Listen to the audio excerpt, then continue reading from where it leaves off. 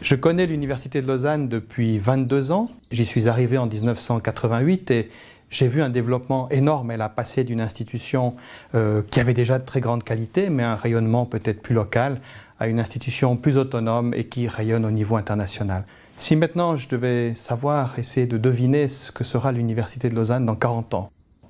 que dire? Je crois qu'il faut bien se rendre compte que la science se crée, se transmet à l'aide d'une communauté de scientifiques, d'étudiants, et c'est en prenant la mesure de la contribution que la Suisse, que Lausanne peut apporter à cette communauté, que l'on peut imaginer ce que sera le développement de l'université. C'est bien sûr difficile à, le prévoir, et mon sentiment, euh, c'est que ce que nous voudrons, c'est conserver sur l'ensemble de la Suisse des compétences de très haut niveau, et donc que Lausanne joue dans ses domaines de compétences, il faudra peut-être encore qu'elle précise son profil,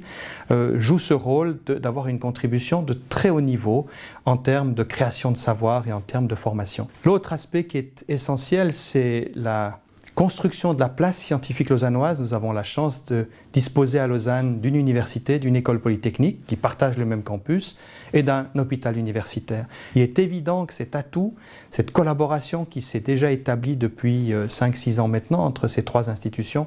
va se renforcer pour que nous ayons sur la place lausannoise toutes les compétences euh, que nous voulons. Donc je suis convaincu qu'il y aura une forme d'intégration de, ces trois institutions. Euh, exactement comment, je, ne le sais bien sûr pas. Et puis, si je pouvais faire un souhait, ce que j'aimerais que soit l'Université de Lausanne dans 40 ans, je dirais que j'aimerais qu'elle soit ouverte. Je pense que si on veut garantir une très grande qualité de création et de transmission de savoir, il faut en tout cas pas mettre de barrières, il faut une ouverture de l'institution, une ouverture